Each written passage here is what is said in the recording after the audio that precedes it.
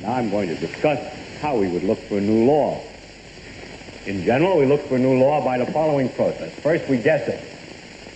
Th- then we com- so don't laugh. That's really true. Then we compute the consequences of the guess to see what, if this is right, if this law that we guessed is right, we see what it would imply, and then we compare those computation results to nature, or we say compare to experiment or experience, compare it directly with observation to see if it, if it works. If it disagrees with experiment, it's wrong. And that simple statement is the key to science. It doesn't make a difference how beautiful your guess is. It doesn't make a difference how smart you are who made the guess or what his name is. If it disagrees with experiment, wrong. That's all there is to it.